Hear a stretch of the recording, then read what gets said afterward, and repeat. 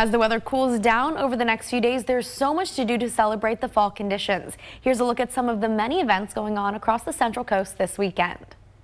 You will be as happy as a clam this weekend in Pismo Beach for the 77th annual Pismo Beach Clam Festival.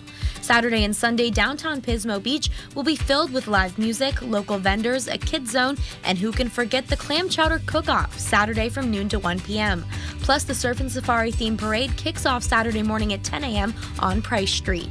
The Lompoc Airport will transform into a celebration of color this weekend for the Lompoc Chalks Festival.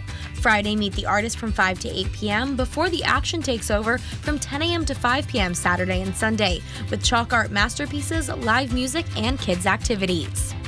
Head to San Ynez this weekend for Chumash Culture Day. Saturday, California style Native American singing, dancing, food, and games will kick off at noon and last through 9 p.m.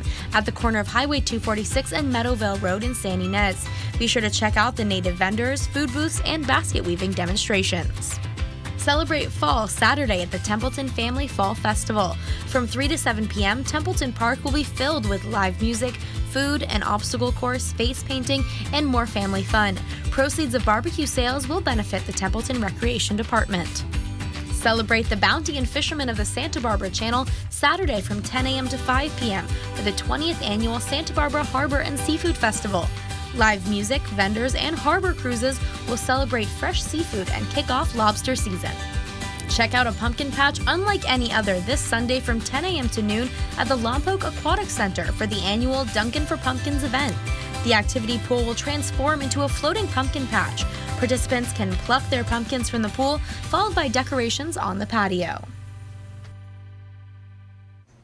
And details for all of these events and many more can be found on our website at ksby.com just a little bit later on this morning. And there is just so much to do. I had a really hard time picking just six things, but on our web story for this, you can see just so many more events going on. Right on. And it looks like